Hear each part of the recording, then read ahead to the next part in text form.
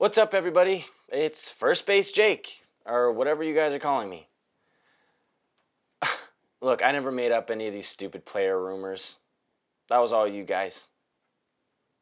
Look, and I don't kiss and tell, so I'm not going to talk about it. But yeah, Emma cheated on me. Guess everyone knows that now. Her diary entries about hooking up with someone on the roof wasn't about me. Look, I, I never even went up there with her. Look, I don't know who it was. I don't care. It's over. It's done. Okay? So, everyone making up these theories and making up stuff about me, you can stop. And whoever it was, if you're watching, you're a loser.